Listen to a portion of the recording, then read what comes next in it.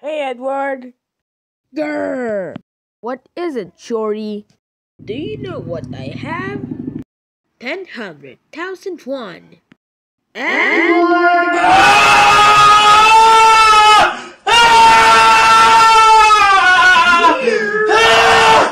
Sugarbo, your nose is a pickle. Don't say a bad thing. We're friends. You know what?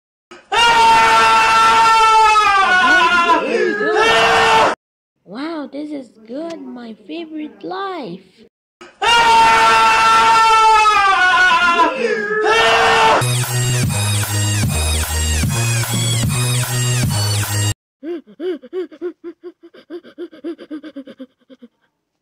Alright, rise up. This is me, Robert.